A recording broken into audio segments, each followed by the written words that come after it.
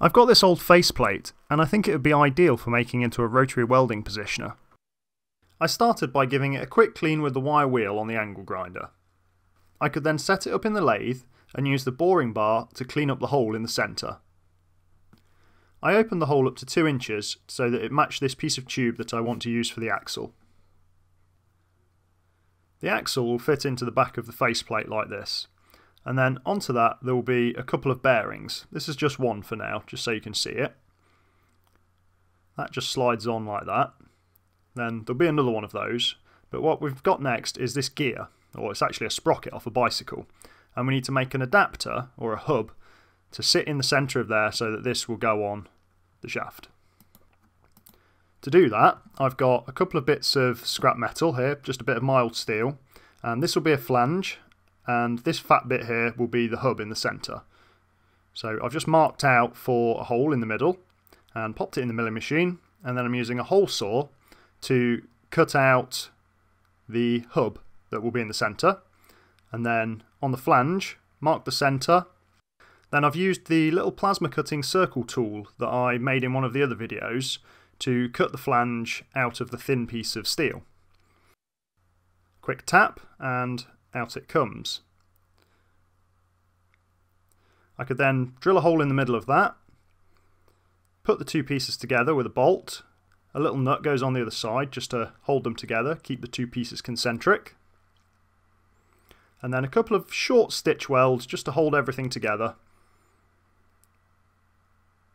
I could then put the two pieces in the lathe and just turn down the outside diameter so that it's a good fit on the inside of the chainring. Now you'll notice I've got a bit of a scraggly edge at the back there and that's just because I'm working right up against the, the chuck jaws and I don't want to hit the jaws. I could then drill out the centre with the biggest drill bit I've got and use the boring bar to open up the centre so that it fits on the axle as well.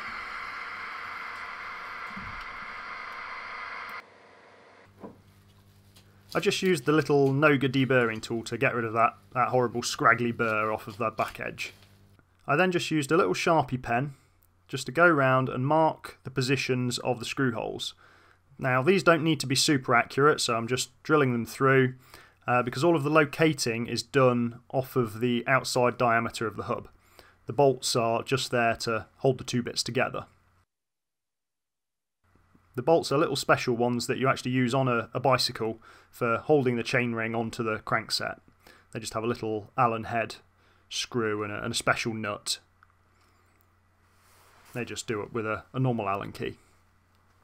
Now, I need something to put all of this inside, and I've got this old tank which I think will work really nicely.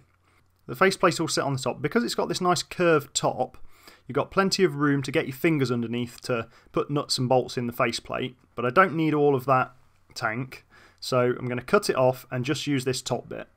I'm just using the plasma cutter to cut the top of the tank off.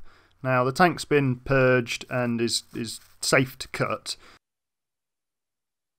To mount the bearing in the top, I'm just going to make this little box out of some bits of angle iron. And the bearing will sit in the box like that and then the whole box we're going to cut the top out and sink the box into it so that it's all nice and flush. I'm just using the little angle plate trick that I used in the lathe tool holder video for squaring up the corners.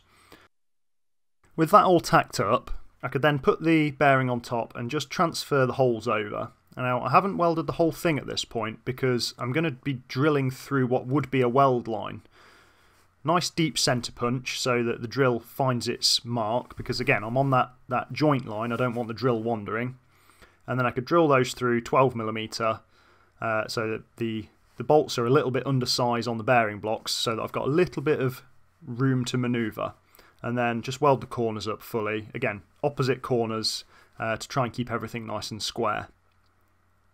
Just a little check with the angle plate just to make sure it is all square. Looks good so far. Now, to mark out the cutout, it's a little bit tricky because of the shape of the, the bottle. So what I've done is just put everything on top, get it all lined up. I've put the bearing in because it's got a circular hole and I can line that up with the hole in the top of the bottle and that should get it pretty well in the centre if you've got a good eye. And then I'm just using a, a fine point Sharpie, making sure to keep it completely parallel with the metal frame. And that way I can transcribe the edge line down onto the top of the tank, but it's offset by half the diameter of the pen. And then I can inset that line by half the diameter of the pen, and that will give me the true projected line of the metalwork or of the of the box. And the the C spanner is just the right width, so there's nothing particularly special about it. It's just the right size. And then we've got our, our lines that we can cut out for our box hole. I then just went round with a centre punch and just made a little line of dots so that when I'm cutting this out, if I burn the piece of paper, I can still find the line. Took it outside and then just chopped it out with the plasma cutter. In hindsight, I think I should have probably just done this with the grinder and a slitting disc, but you live and learn. There's our cutout, and the box is a nice snug fit in there. And just give it a little tap down with a hammer just to get it all nicely snugged away. I'm just trying to get it so that all of the high spots are flush. And then just a little stitch along each of the centres. And then I could cut the corners off with the slitting disc just to get a nice flush finish uh, so it matches the top of the, the tank. And then go along and do the, the pretty tedious job of fully welding it with the TIG. A MIG welder at this point would have just been so much faster. A nice little arc shot for you guys there. Uh, always a little bit tricky to get. There it is all smoothed off and the bearing just sits in the top like that. I'm really liking this, this nice curved top. I think that's going to look really nice. And then the bolts will just go in like so. So here's how it sort of goes together. The axle goes in there, and then there'll be an outer bearing. Then the tank goes on, or the housing, whatever you want to call it now. And then there's another bearing that goes on the inside, because these are semi self aligning bearings, so you need two of them back to back, uh, or at either end of the shaft. And then we've got our hub and uh, chainring, which will provide the drive to the axle and in turn rotate the faceplate. Now I need to make a, a cutout in the side of the housing so that I can get drive from the motor through to the chainring. So I just marked down and then spun the drum round with a, a pen on a stick basically just to just draw a line around the outside of the tank. Now I could then draw a couple of vertical lines where I want my cutout. Again, just use the plasma cutter here to, to trim that out then the chain goes through and around the chainring, so that will go something like that. Now at this point you'll notice that the chainring isn't connected to the axle and the axle isn't actually connected to the faceplate. Now to connect the axle to the faceplate I'm actually going to use a glued joint. That might sound a bit crazy but bear with me. But what I want before I do that is I'm going to use this little spacer I'm going to pop it down in there and that's going to stand the axle off a little bit, and that will leave me a small ring inside the faceplate which will act like a little register. Now here's the glue, it's a two part epoxy, it's more than strong enough to do the job. I'm seeing this as an opportunity to experiment, see if it can handle the thermal loads. If it does fail, then I'll just take it out and braze the faceplate back on. Um, so, opportunity to experiment. As I'm putting this in, you'll notice that I'm rotating it around. That's just to try and make sure that the glue's nicely distributed and it gives the glue the maximum amount of bond area. I could then just go around with a little knife or a scraper and clear away any excess before it dries and this just makes cleaning up a lot easier. To secure the chainring hub, I decided to use grub screws. I put three holes in at 120 degrees apart and these are actually going to go all the way through and into the axle rather than just up against it and rely on friction and then I had to build up the assembly on the bench without the housing. So I just used these little offcuts of angle to simulate the, the space between the two bearing blocks. I could then put the hub on and it would be in the correct position To transfer the holes I just used the tapping drill that's the same size as the hole I'd already drilled in the hub. I could then go in with the hand tap and tap all the way through the hub and into the hole to make one continuous tapped hole. I then put in a little grub screw that will go through and tie the two pieces together. I did this on one hole and then repeated the whole process on the remaining two holes, each time putting in the grub screw to make sure that the holes stay perfectly lined up. To drive the rotary table, I've got a little 12 volt windscreen wiper motor, and it's going to be mounted somewhere around here. But first we need to make a little gear to go on the motor so that we can connect it to the chain. To make the sprocket I've got a little offcut of steel round bar and I just laid the chain on to get a rough idea of how many teeth I could get on it. One, two, three, four, five, six, seven. Okay, so a little bit of maths, set up the DRO in the milling machine, and we can drill some holes which will correspond to where the links will fit in the sprocket. Oh look, I've made a 7 shooter. Into the lathe, clean up the outside, drill a hole up the centre to allow the motor shaft to go through. Now the motor shaft's got a little bit of a taper and luckily I had this tapered end mill which was just about the right size. A little test fit on the motor shaft, not perfect but I think once it's got a nut on the end it'll be good enough.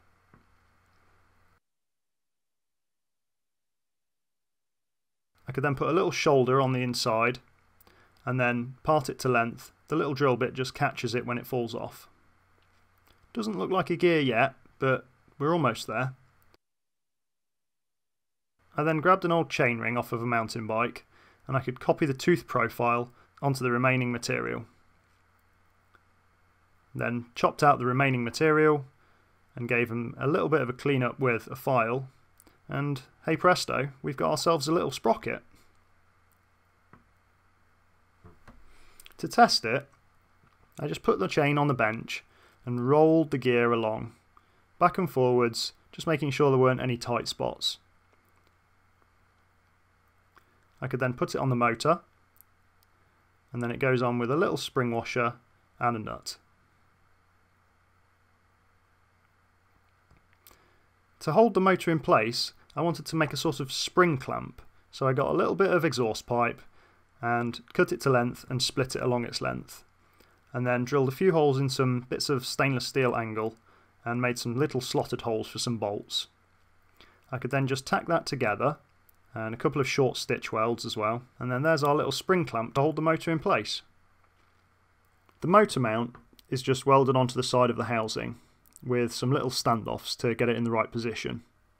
The motor kind of goes in on a bit of an angle and then it has to be rotated up this looks a bit ham-fisted at the moment, but it's just because the chain's caught on the inside. There we go. That's what it's supposed to look like. It's then secured by just doing up these two little screws, which just close the spring clamp on the motor body. And here's what it looks like the right way up. I've got a little power supply here, and a speed controller, with a little potentiometer so I can change the speed of the table. But what I need is some sort of housing or box on the side to keep it all safe. So I'm just cutting down some little bits of angle to make up a little kit of parts to make the box.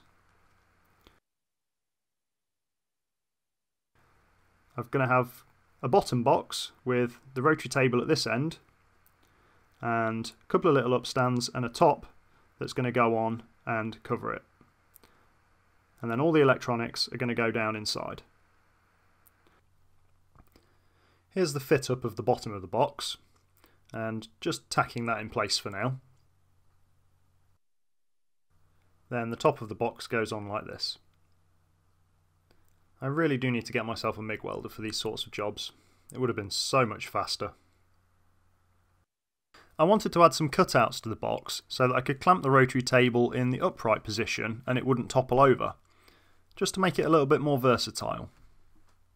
I got the idea from some old bloke called Tony. I've cut a couple of pieces of 50mm strapping for the power supply to sit on.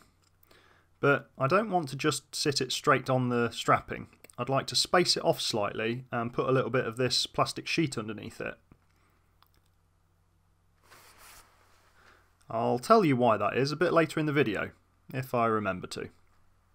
To cut the plastic sheeting, I just used the jigsaw with a woodworking blade. I could then transfer the holes from the power supply into the plastic sheet and then transfer them onto the piece of metal and then offered it up and just tacked it in place. I wanted the welding earth connected directly to the rotating bit of the table so I used a little bit of stainless steel so that I had a non-painted surface that I could connect the clamp to and then a little bit of earth strapping wrapped around the spindle and used a spring to make sure that any wear in the system gets automatically accommodated for or any misalignment.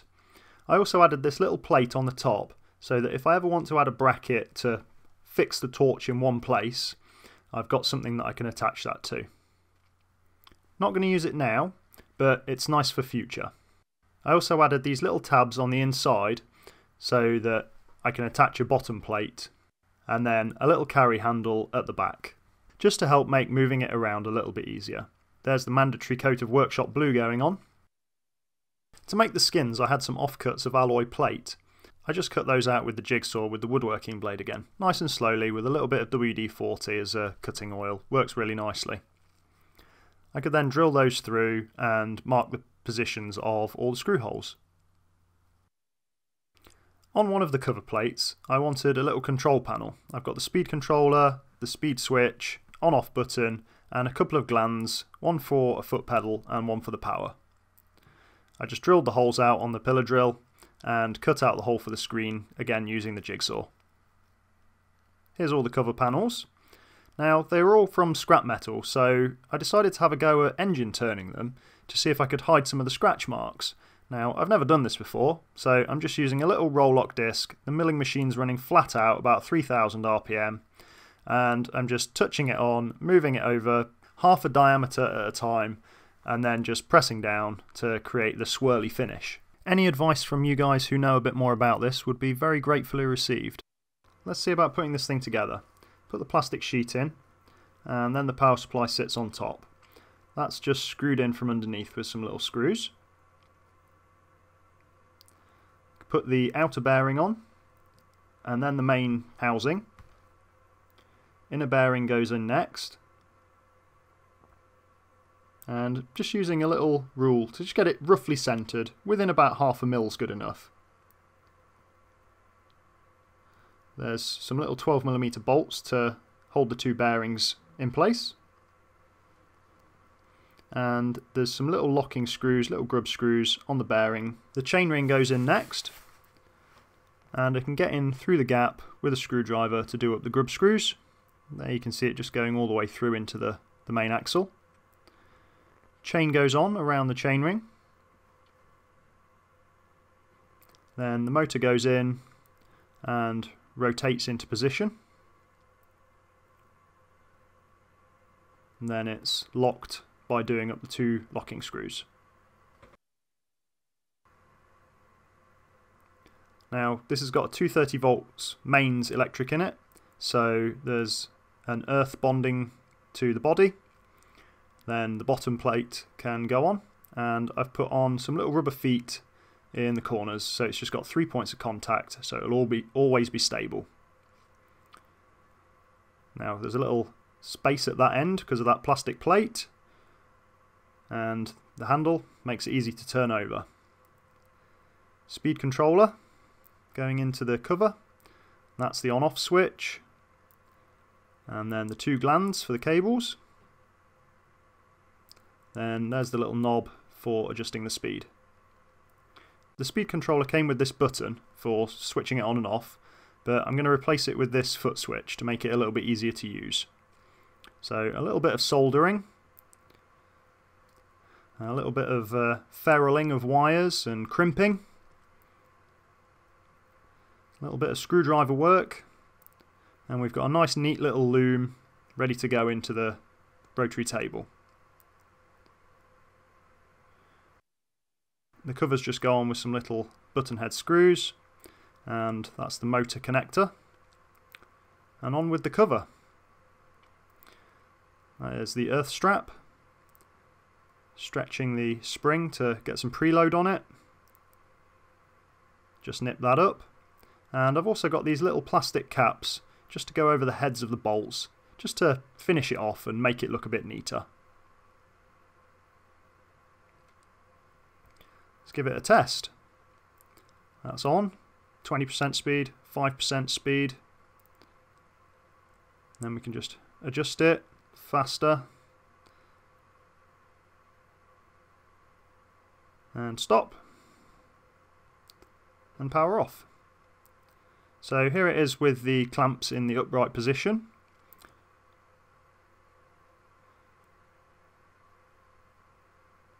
And in its vertical position. This is my first time having a go with the rotary table, so it's going to take a little bit of getting used to. I think it was definitely worth the effort. I hope you've enjoyed the video. Here's what I've come up with on my first go. I'm quite happy with that. A little bit of practice and should be golden. Hmm, I wonder what else we can use this for.